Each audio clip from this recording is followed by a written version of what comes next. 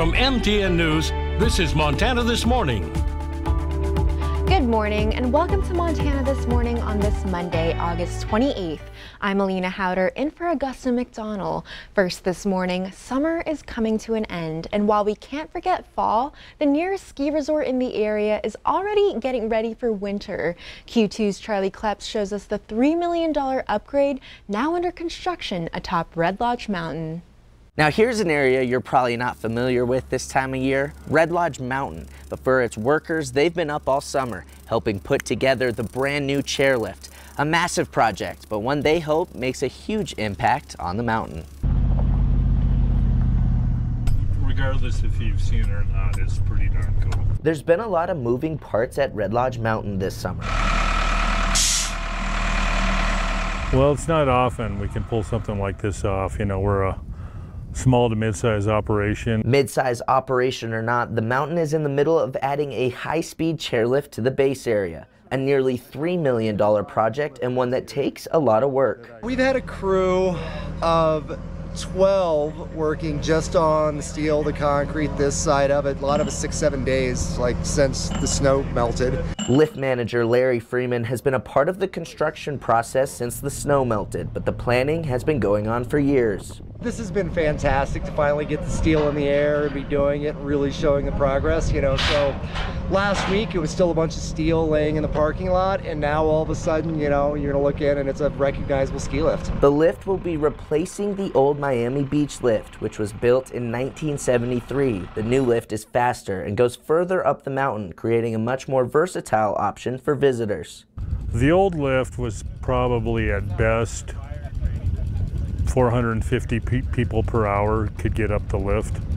This one will be 1,800 people per hour can get up the lift. And I think that's really going to change how people use the ski area and really just the overall experience. A big investment, but one the mountain hopes will be worth it, adding a new element on the slopes. Time will tell.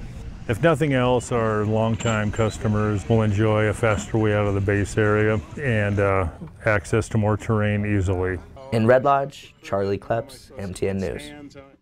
And now it's time for a quick check of weather with Miller, what I like to call Miller time. It's Miller time, yes. Well, good morning, everyone. Uh, good to see you, Alina. Good to see you. Question for you, do you like hot or cold weather or? I like the in-between. In between. Well, we have a chance. A little bit of everything this week. It's not going to get cold, but it's going to get cooler after a couple of days where we're going to stay above average. In fact, we're just continuing the trend over the last couple of days where we've stayed above the norm, a good six degrees above yesterday as we wrap up the final weekend of August. Where's the year gone? It was milder than normal to start the day. Dry yesterday, but for the month, we've got 1.29 inches. So we're uh, well above average for the month in terms of our moisture total, and we're pacing ahead for the year. In fact, we've already met our yearly total. We're about two about two tenths of an inch ahead, and we could still see a little bit of rain later today. On the monthly thing, I just want to mention Miles City. A shout out to you. You've had 2.84 inches so far this August. That's the fourth wettest August on record since we started keeping records back in 1937. But pretty dry stretch uh, continuing there in Miles City. In fact, I don't have any rain for you uh, this week. Uh, 61 right now at the airport, humidity at 64%, winds out of the southwest at about 14 miles an hour. We do have a little bit of rain this morning around Sheridan, around the uh, Bighorns, uh, the foothills there, even Hardin, maybe Forsyth could get a little bit of rain. Temperatures right now in the 50s and 60s. We'll go 80s and some 90s the next couple of days before a cool down comes in, and we'll tell you more about that with the main forecast coming up here in just a bit. Oh, excited for the cooler weather. It'd be nice. It'd be nice. It's not going to stick around, mm. but we have a little bit of a, a little bit of a relief as we get into the middle of the week. Just a tease. Just a tease, yeah. Oh, well, thank you, Miller. Okay. Awesome. And this morning, we're meeting an inspiring group of women who just completed a nearly 600 mile outdoor adventure powered by friendship. Q2's Haley Monaco has their story. Audio diary, day three. This is audio diary, day four. It is day five. We do think we are the first women team to to do this and and camp along the way and not just go in a hotel every night. Happy 26th day on the river. We just had our last supper. Nearly one month and hundreds of miles later, four women living in different states can now say they came together to complete a journey very few have ever done. Started um, in Gardiner, Montana, floating 570 miles on the Yellowstone River. We ended at the confluence there where the Yellowstone meets the Missouri. It was a trip that took two years of planning, an idea first brought about by Celesta Hallam Barwick. I originally wanted to float all the way to Louisiana until I ran the numbers and realized I was not taking a year off of work.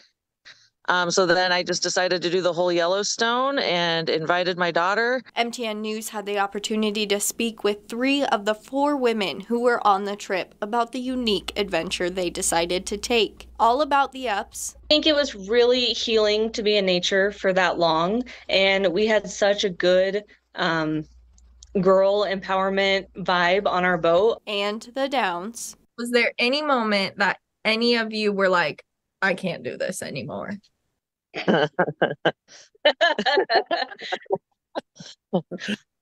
Not me. I was in it for the long haul.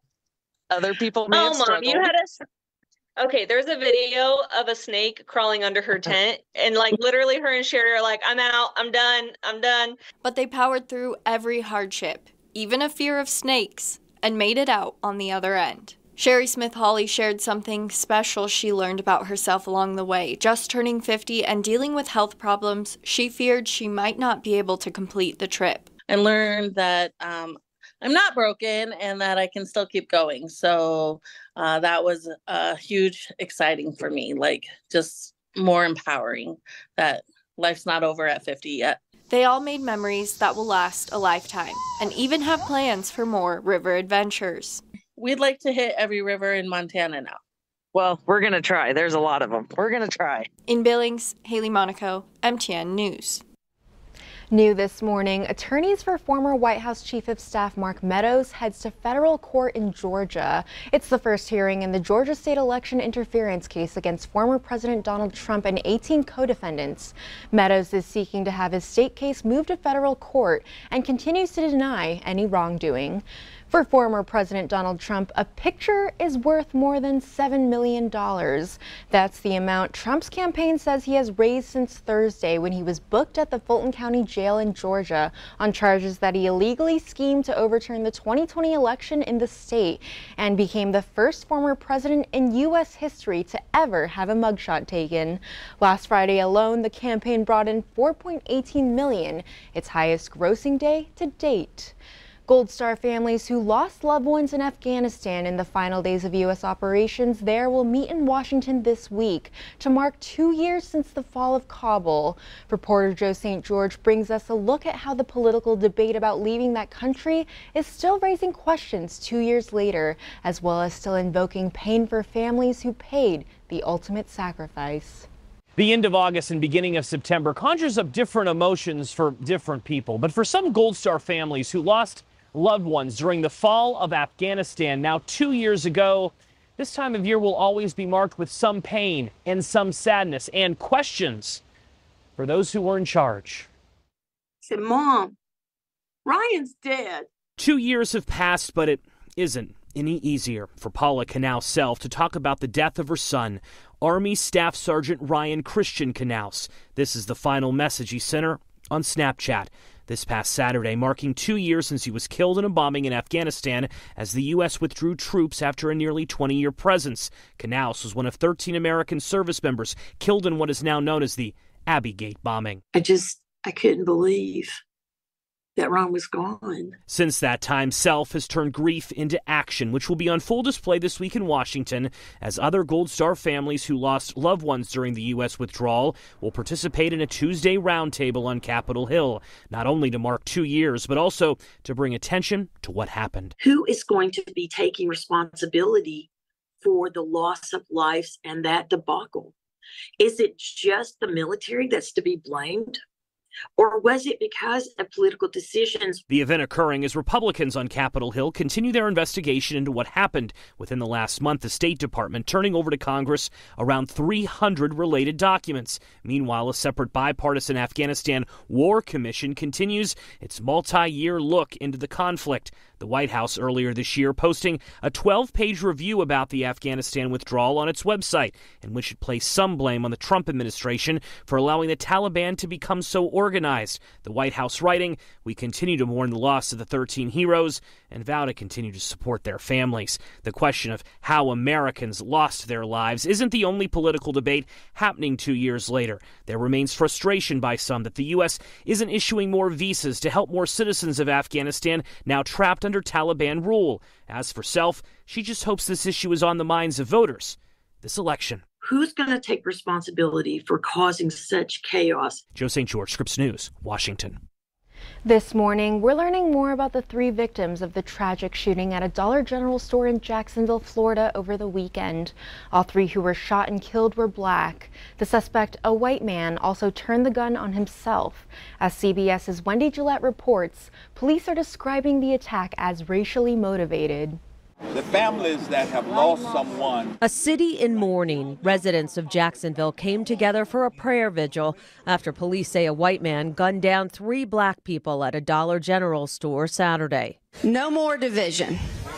No more hate. We are going to do what we need to do to make sure that evil does not triumph in the state of Florida. Authorities say the gunman targeted two shoppers and a store employee because of their race. The victims were identified as 29 year old Jerrald Gallion, 52 year old Angela Carr, and 19 year old AJ Laguerre, who worked at the store. It's not fair. Gallion's relatives describe him as a great father to his young daughter, who never missed a beat. I don't know how to tell her that her dad is not coming back. I don't know how to tell them. I don't have the words. The Jacksonville Sheriff's Office released this surveillance video of the suspected shooter, identified as 21 year old Ryan Palmetter, wearing tactical gear and armed with a handgun and an AR 15 rifle that was painted with swastikas. Authorities say he opened fire on his victims inside and outside of the store before he shot and killed himself.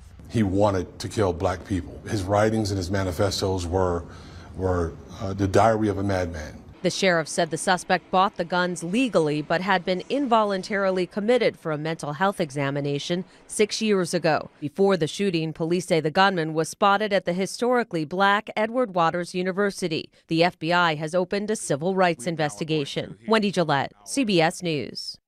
The White House says President Biden spoke to Jacksonville's mayor and sheriff to offer his full support to the people of the city.